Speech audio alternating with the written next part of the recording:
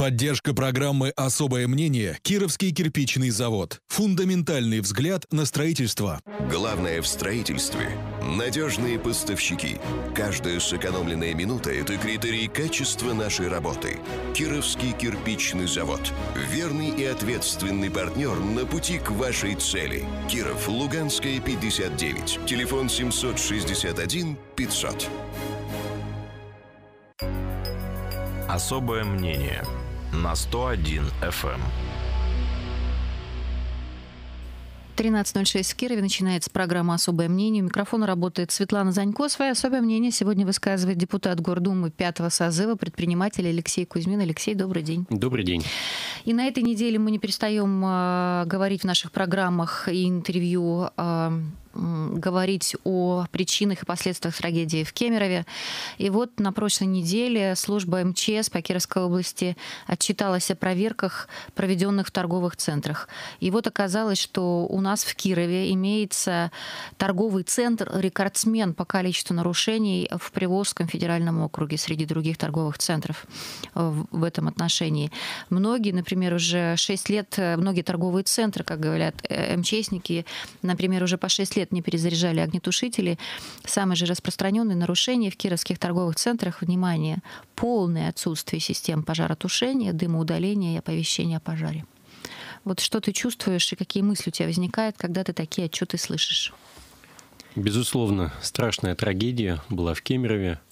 Уже все средства массовой информации и о причинах этой трагедии рассказали, и о возможных ситуациях, которые там возникали. Поэтому Безусловно, еще раз слова только соболезнования семьям погибших.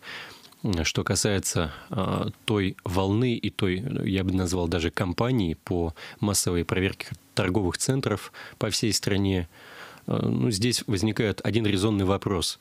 Вот э, руководитель МЧС по Кировской области заявляет, что во многих торговых центрах э, огнетушители 6 лет не заправлялись. А у меня вопрос – а где были сотрудники МЧС, контролеры и проверяющие органы эти шесть лет. А вот с 2012 года, когда начались вот эти самые каникулы пресловутые, о которых все говорят а, по малому бизнесу, с тех, с тех, с тех времен и не проверяли?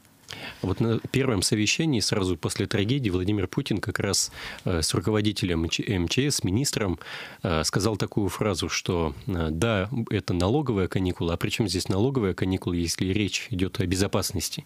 Вот то же самое можно сказать и здесь. Где были эти контролеры в тот момент, когда торговые центры, бюджетные учреждения, школы, больницы, детские сады нарушали правила пожарной безопасности, имели имели существенные признаки уклонения от пожарной безопасности.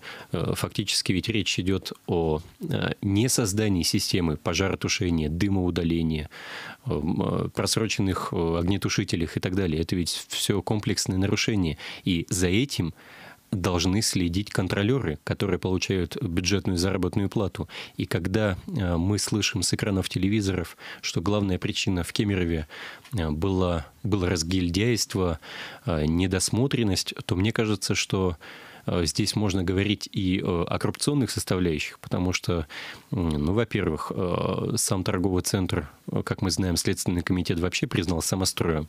Вопрос – на основании чего э, уже несколько лет работал этот торговый центр, торговый центр, кто выдавал разрешение, кто подписывал бумаги, кто разрешил строить.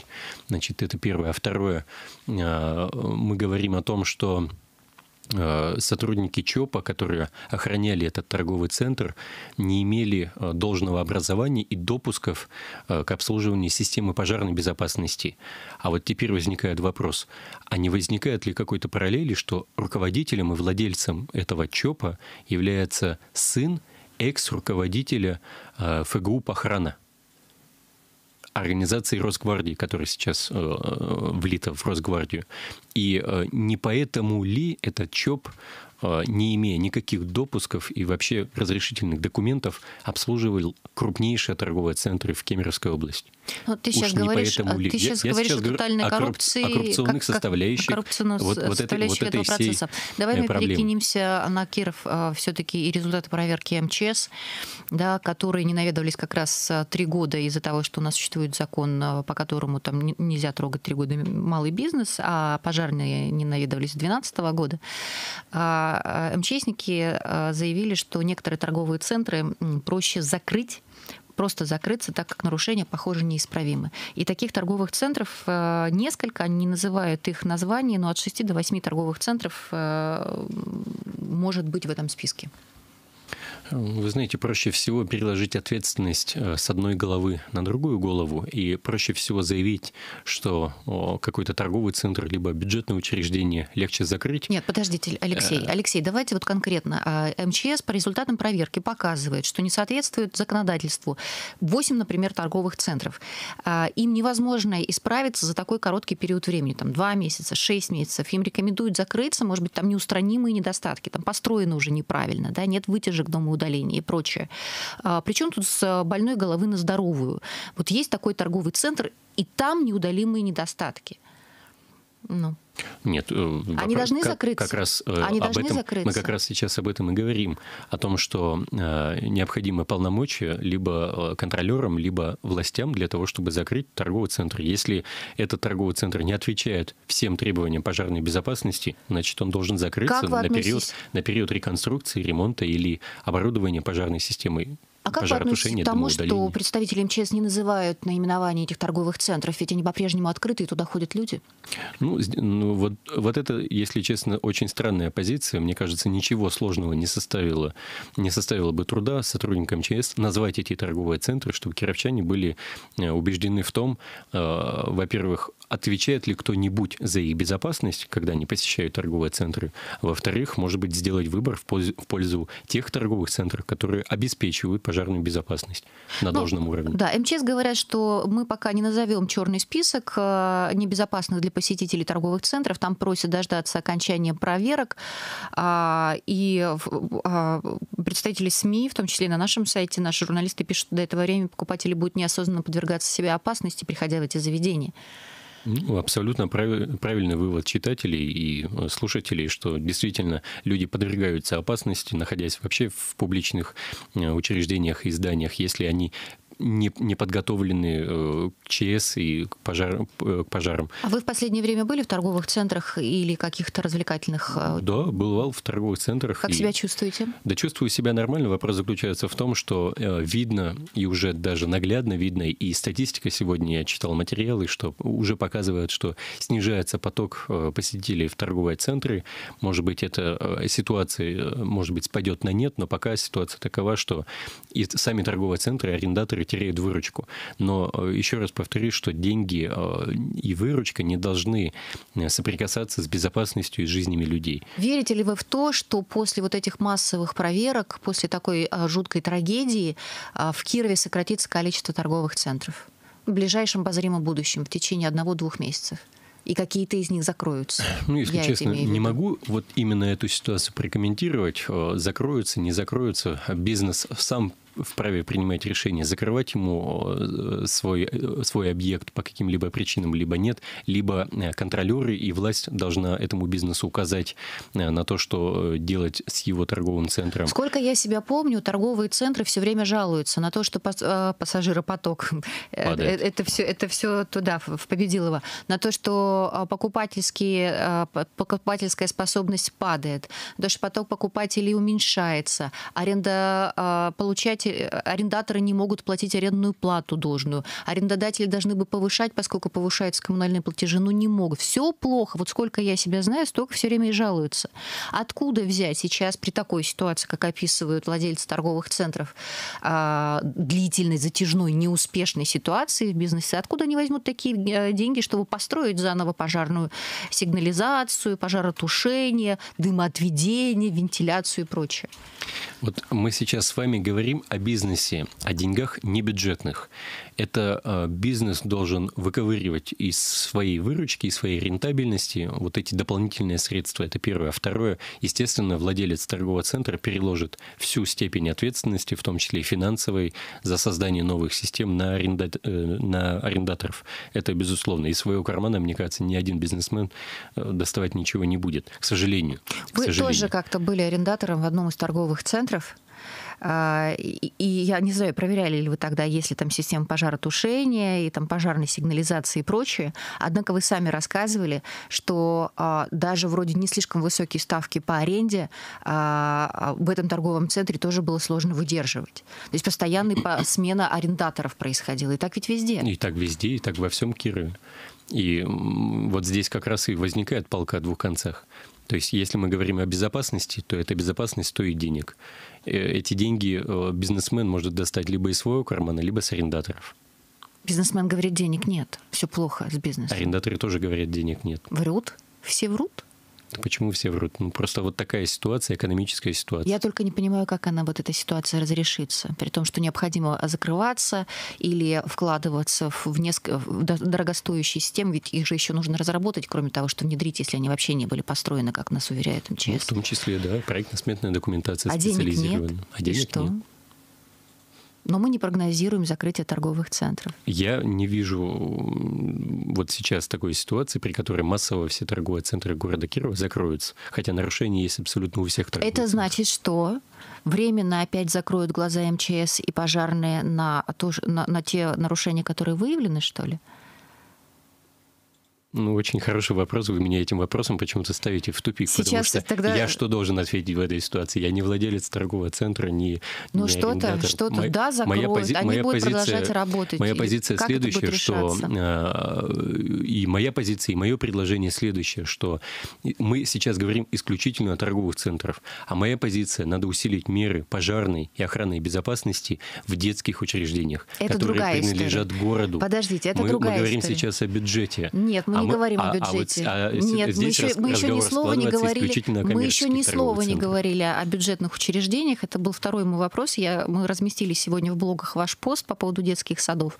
Но мы с вами сейчас говорили о торговых центрах. И вы действительно мне не ответили. Может быть, потому что просто нет прогноза. Да и нет представить прогноза, глоб- и нет глобальную ситуацию информации. невозможно. Но я вам дам сейчас полминутки. У нас как раз перерыв. Может быть, сформулируете. Особое мнение на 101 FM.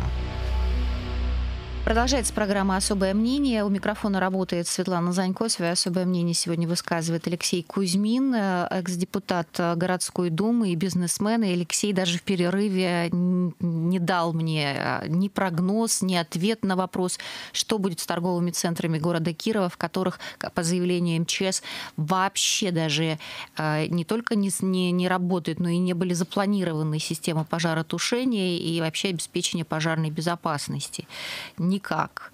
Я все-таки не понимаю, что, что здесь будет, потому что э, либо э, закроют глаза снова органы э, контролирующие, и торговые центры будут продолжать работать, либо они все-таки закроются, и, и все. И тут бизнес должен понять, что их в покое не оставят, не дадут им работать таким образом.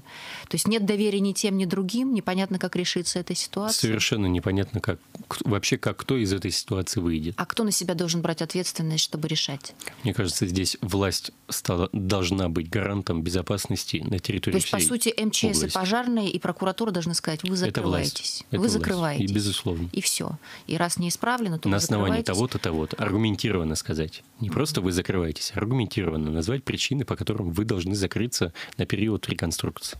И бизнес Или должен полностью. принять это э, и, и все. И, и работать. Ну, в таком случае хотелось бы... Единственное, мы сейчас говорим о, о- о некой компанейщине. Хотелось бы, чтобы озвучили все-таки список, о каких торговых центрах идет речь. Ну, я думаю, чтобы через не, ближайшее время должно чтобы не озвучить. допустить, наверное, да, вот ситуации, когда нашли нарушения, а, а центры работают. Окей. Да, а, значит, э, переходим теперь к вашему посту, который вы опубликовали буквально сегодня, и а, вы говорите о том, что в свете последних трагических событий в Кемерове властям и контролерам стоит а, не устраивать показательные проверки, но обратить внимание на бюджетные детские учреждения, и, насколько я понимаю, вы имеете в виду детские сады, да, дошкольные учреждения города Кирова. Предлагаете ввести видеонаблюдение во всех детских садах и мотивируете мотивируете это предложение тем, что каждый родитель, получив доступ к моментальному просмотру, может контролировать поведение, активность, питание, состояние здоровья своих детей и предпринимать на, этом, на этой основе определенные решения. В том числе, вот сейчас было активное обсуждение с нашими гостями дневного разворота э, вот здесь в коридоре с Владимиром Шабродиным, детским омбудсменом, что и, не дай бог, если там сработала сигнализация пожарная, родители тоже смогут реагировать, как минимум набирать оперативные службы и контролировать контролировать процессы, приезжать на месте и прочее.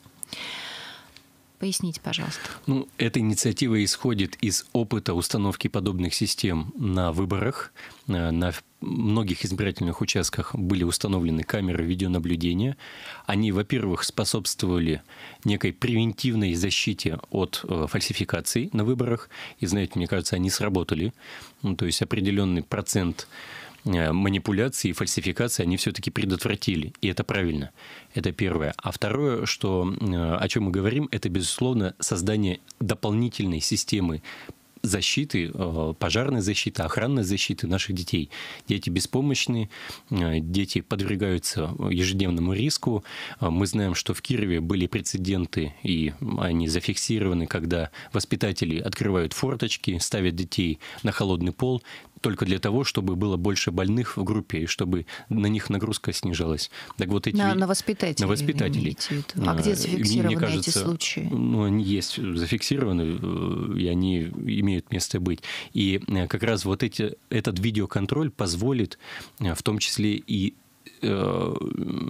создать, создать условия для эффективной работы воспитателей и сотрудников детских, именно дошкольных учреждений. Здесь мы говорим исключительно о детских садах, потому что в школе, мне кажется, такая система будет бесполезна и неэффективна. А вот именно в детских садах это да. Значит, э, здесь и антитеррористическая безопасность, и пожарная безопасность, все в комплексе, и все системно, и без всякой компанейщины. И э, расходы на на этот проект, на внедрение системы видеоконтроля можно а, взять из а, бюджетов управляющ... управленческих бюджетов Департамента, финанс... э, Департамента образования города Кирова, подведомственных ему учреждений, которые обслуживают образовательные учреждения города Кирова. Вы знаете, вот последнее уголовное дело по 9 миллионам, может быть, вы в курсе, что... Все в курсе, все конечно, в курсе, да. что эти деньги были нецелевым образом направлены на зарплаты руководителям подведомственных учреждений, а не на питание детей. Это возмутительно, это вызывает э, лишь отторжение, и э, мне кажется, кажется, что э, в этих бюджетах, в бюджете образования можно искать дополнительные средства, в том числе на безопасность. Поэтому вот такая инициатива. Я э, призываю и городскую администрацию, и городскую думу рассмотреть эту инициативу, э, поднять этот вопрос среди родителей, среди руководителей образования и, может быть, эту инициативу уже начинать внедрять. Тем более, что есть крупный коммуникационный холдинг, который готов заняться этим проектом. Он уже э, делает такое предложение. Он называется «Умный детский сад». В том числе, э, безусловно, там есть система видеоконтроля. И я думаю, что э, многие готовы заняться этим проектом в качестве подрядчиков. Здесь я ни в коем случае не лоббирую, не продвигаю каких-то подрядчиков. Ну, однако озвучили. Э, я не назвал э, название этой а, ком- а это коммуникационного холдинга. Да, это, это система, так называется. Угу. Значит, поэтому в этой ситуации предложение, мне кажется, рациональное. Я думаю, что многие родители его должны поддержать. То есть вы предлагаете поискать денег на систему безопасности, в частности, видеонаблюдения в бюджете муниципальных или областных Э, а, учреждений образовательных, потому что там якобы есть какие-то в административной части, а это значит зарплаты. Там есть что руководителей, э, вот из зарплат руководителей взять. Только деньги. руководители, безусловно, не из зарплат воспитателей и нянечек, и так у них зарплаты настолько низкие, что ну, очень тяжело бывает э, найти квалифицированных сотрудников в детском, э, в детском садике. Поэтому их зарплаты необходимо только повышать, ни в коем случае не забирать у них, а только у руководителей и сокращать численность персональные и штатные единицы. Административных сотрудников. Безусловно. Угу. А федеральные программы на какие-то по, по этому поводу есть? Ну, я думаю, что я не в курсе именно по федеральным программам по детским садам, но мне кажется, подобные э, программы в плане э, системы видеоконтроля, они есть э, не обязательно в детских садах, а, в, насколько я знаю, в школьных учреждениях. Просто мы помним историю, когда были антитеррористические меры принимались, и нужно было устанавливать вот эти вот турникеты в школах угу. и тревожные кнопки, а, и школы очень жаловались на то, что денег нет даже на то, чтобы полы поменять, и окна, которые свистят, школы пригородные особенно и э, в районах, а не то, что да, даже наскрести на эту тревожную кнопку или на какой-то турникет. Так что найти деньги на систему видеонаблюдения, вот я не знаю, сумеют ли власти. Ну, у меня позиция такая, что э, на э, содержание руководителей, руководителей, э, руководителей городской администрации, на чиновников, а у нас их больше 470 человек, у нас почему-то деньги всегда находятся. На покупку новых автомобилей для чиновников деньги у нас находятся. На закупку э, новой мебели и ремонт чиновничных кабинетов у нас тоже деньги находятся.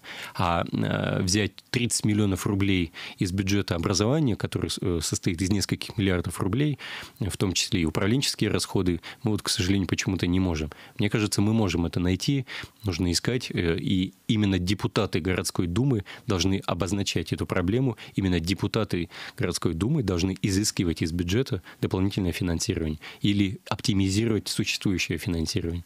Ну вот э, как, как сработают депутаты, мы посмотрим.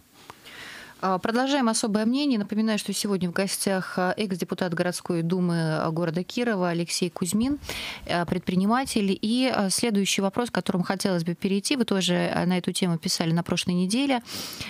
Всем нам стало известно, что региональным оператором по сбору, обработке, утилизации и захоронению мусора станет городское предприятие Куприт. Это решение было принято в конце марта, вернее, не решение было принято, а конкурсные, Конкурс конкурсные процедуры да. прошли шли, объявленные в начале марта, да, вот они месяц шли, и было и стало ясно, что Куприт будет заниматься этим, этими вопросами на всей территории Кировской области.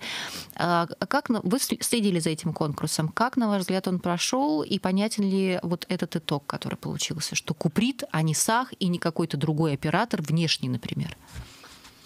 Действительно, это очень важный вопрос. Это создание целого целого комплекса вывоза, переработки, сортировки мусора.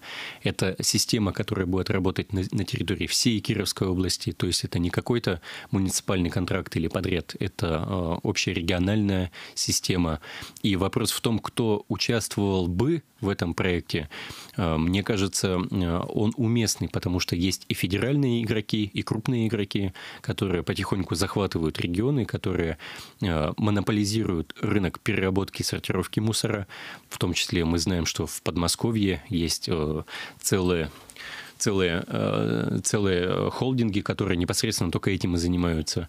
Но, э, как мы видим, в Киров не зашел э, федеральный игрок, в Кирове... И даже не попытался И зайти. даже не попытался, да. Действительно хорошее замечание, что странно, что такой колоссальный рынок, а если мы увидим потенциальный тариф за вывоз мусора, это не более 156 рублей с человека для городского жителя и не более 130 рублей с сельского жителя потребителя. И если мы абсолютно примерно посчитаем возможную э, выручку в месяц вот этого всего комплекса, всего проекта, то мы получим цифру почти в 130 миллионов рублей в месяц. Я считаю, что э, это достаточно серьезная и высокая выручка, и очень странно, что федеральные игроки не заинтересовались э, такими цифрами. Ну вот победил, э, победил Куприт, победило наше городское предприятие. Напомню, что почти 65% принадлежит э, городу Кирову. Э, это я считаю, что, в принципе, нормальное, правильное решение. Почему? Потому что при создании такой огромной, колоссальной и емкой системы и схемы все-таки должен быть надежный подрядчик, надежный, надежный оператор, который будет, скажем так, под городским или областным колпаком. Это очень похоже на то, как прошли конкурсные процедуры по, по дорогам, да, в системе безопасной и качественной дороги. Вот как раз по дорогам я не разделяю этого оптимизма. Там тоже надежные городские. Как раз по дорогам я э, всегда выступаю за дробление городских э, дорожных тендеров и за то, чтобы как можно большее количество участников э, было на этом рынке, чтобы создавалась конкурентная среда. Но в мусорной теме, можно ее так назвать, у нас нет серьезной конкуренции. У нас есть, по сути, очень крупные игроки. Это, это тот же САХ, тот же Куприт, тот, те же МУПы в районах. И никто не говорит о том, что этих, эти предприятия, которые по районам раскиданы, этот же САХ, они не будут участвовать в этой схеме. Они будут субподрядчиками у Куприта. Куприт является оператором угу. всей программы, а в субподряд он будет нанимать в том числе действующее, безусловно, предприятие.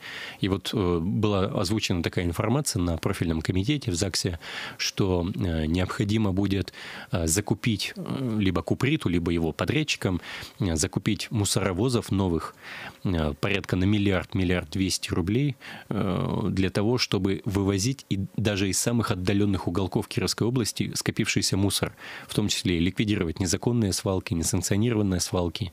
Вот все это требует колоссальных инвестиций. Ну и в качестве оправдания этой системы э, могу сказать, что, во-первых, она создана на федеральном уровне, она работает уже во многих, она разыгрывается уже во многих регионах. У нас Кировская область один из последних регионов, кто включается в эту систему.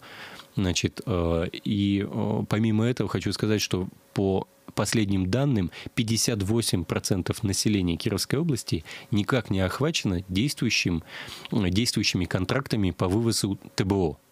Что это означает? Это означает, что люди производят мусор ежедневно. Э, в течение года это составляет несколько тонн, но ни, ни копейки, ни рубля не платят за его вывоз или утилизацию. И так образуются стихийные Это тоже свалки. неправильно. Это тоже неправильно. Да, прервем сейчас на полминуты. Мы не закончили с мусорной темой, как вы говорите, и все уже говорят там, да, а именно мусорная тема. Продолжим с Алексеем Кузьминым после короткого перерыва. Особое мнение на 101 FM. Продолжается программа «Особое мнение». Здесь в студии Алексей Кузьмин, экс-депутат городской думы, и мы говорим а, о, о том, что конкурс на регионального оператора по вывозу, утилизации, захоронению мусора выиграло муниципальное предприятие «Куприт». А, и теперь Куприт по всей территории Кировской области будет этим заниматься. Насколько... И, и ты одобряешь, что, что действительно, что выиграл Куприт, это хорошо, потому что подконтрольное предприятие, городские власти будут контролировать и так далее. Но, насколько я помню, а, из э, прошлых твоих выступлений вот как хорошо проходит там время в программе, и ты сбиваешься уже на привычное для тебя обращение. Вместо «вы» говоришь «ты». А, ну, давай тогда уже, да, раз перешли на «ты» э, снова, как до эфира, так, так и будем продолжать. Сколько я помню, ты всегда критиковал муниципальные учреждения, МУПы, а, называл их неэффективными, тоже коррупционными и, и вообще вязкими такими структурами, от которых городу нужно избавляться. А здесь ты хвалишь э, победу Куприта в конкурсе, в конкурсе, на который практически никто не заявлялся.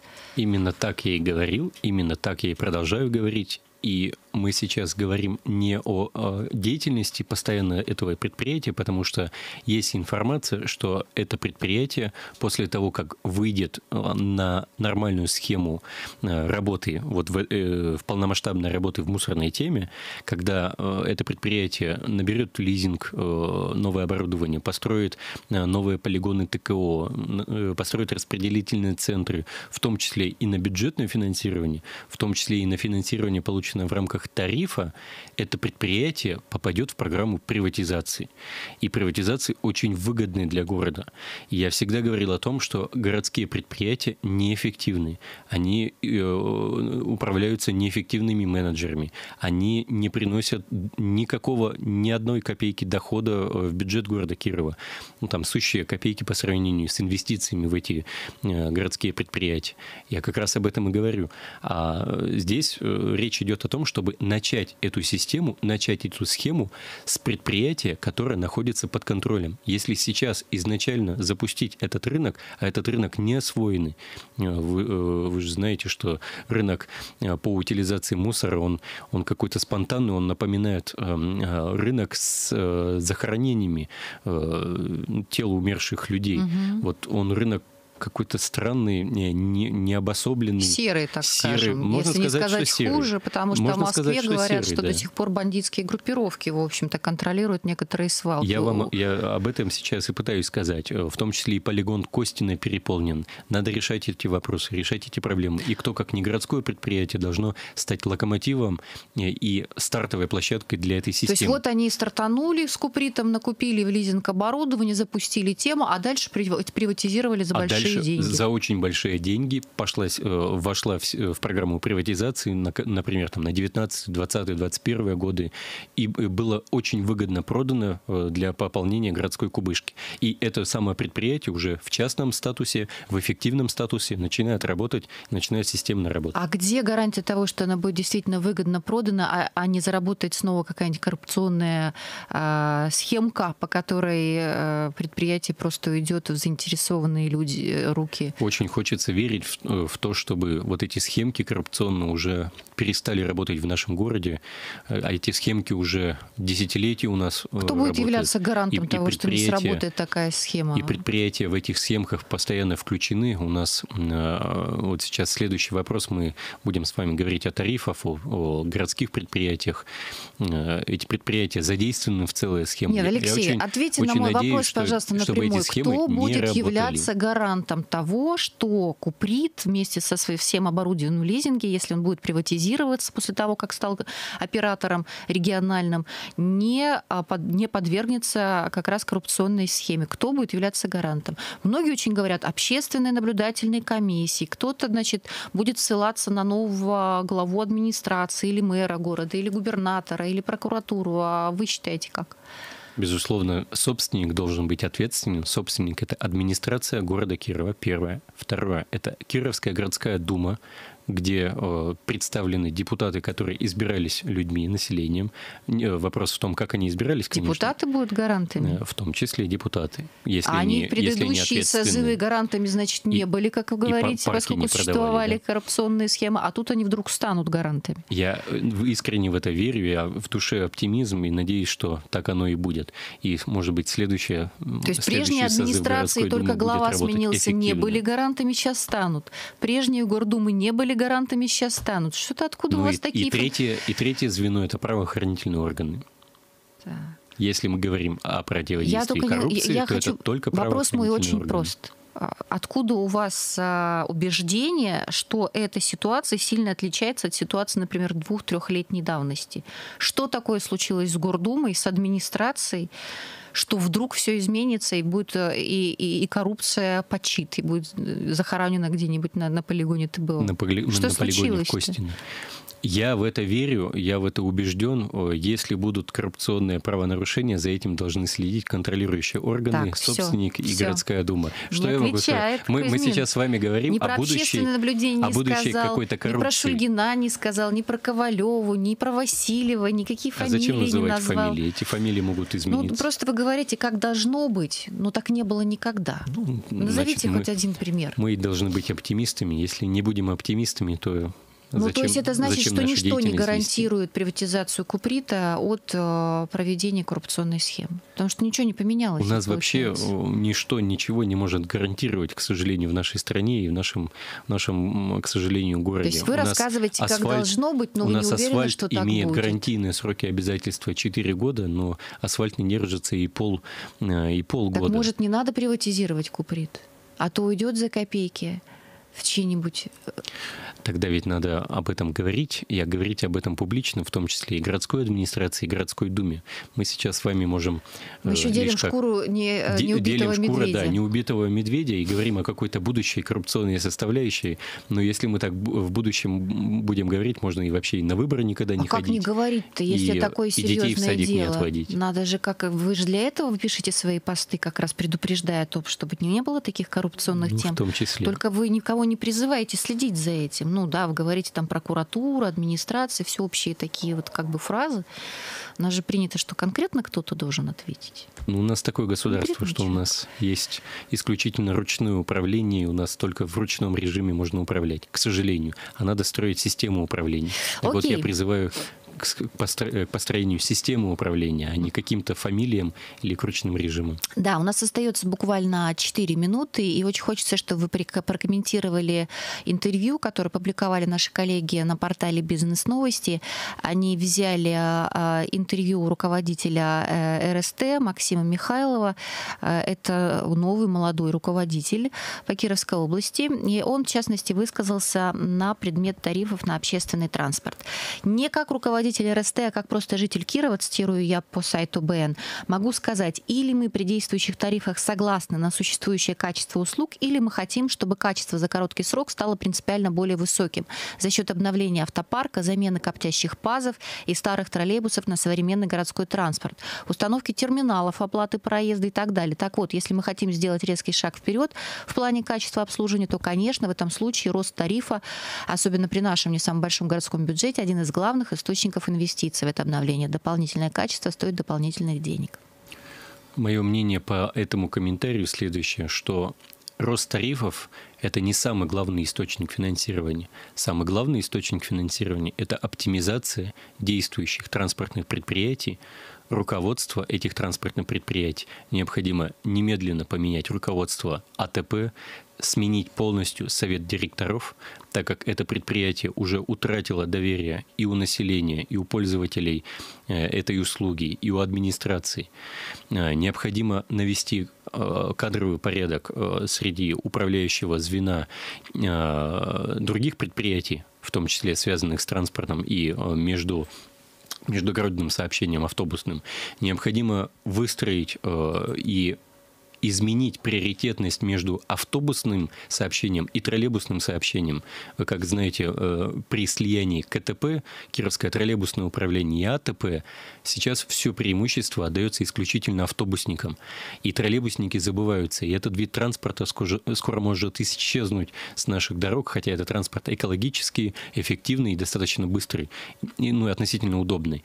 Э, не обновляется троллейбусный парк, э, парк не ремонтируется, водители Си... сами ремонтируют свой троллейбус. Система, система оплаты труда э, водителей и кондукторов, э, она не такая, как у автобусников и так далее, и так далее. И все мы говорим о том, что баланс в пользу автобусников сейчас превышает, чем, чем у троллейбусников. Это, это второе. Третье. Значит, если мы говорим об сначала кадровой такой революции в транспортном секторе. Э, не забываем э, и о том, что э, необходимы инвестиции в обновление автопарка. Эти инвестиции не обязательно должны закладываться в тарифе. Еще раз повторюсь, что здесь нужна оптимизация. Скажите мне, пожалуйста, зачем собственником управляющей компании Ленинского района является АТП, городское предприятие транспортное? Вот зачем на балансе и в собственности э, транспортного предприятия управляющая компания? Это то же самое, что ну, давайте ГДМС э, возьмет под шефство почт, отделение Почты России и будет собственником отделения Почты России. Это непрофильная деятельность. Необходимо избавиться от непрофильной деятельности, тем самым создав эффективную рабочую нормальную среду управленческую. Значит, э, помимо этого, э, если мы говорим о росте тарифов, то я считаю, что, безусловно, рост тарифов э, должен быть обоснованным. И он и пользователи транспортной услуги должны видеть увеличивающийся ценник за билет. Пользователь одномоментно должен увидеть смену смену транспорта на новое транспорт, на газомоторное топливо, на новые троллейбусы, новые автобусы, на создание эффективной маршрутной сети, о которой мы говорим бесконечно, и которая почему-то э, каждый год не оптимизируется, о внедрении умных остановок. Это все и пользователь должен видеть одномоментно, потому что вы, когда приходите в магазин, вы даете свои деньги, а тариф и стоимость билета – это ваши деньги, вы покупаете услугу сразу – или товар, вы сразу должны его увидеть. То же самое и здесь.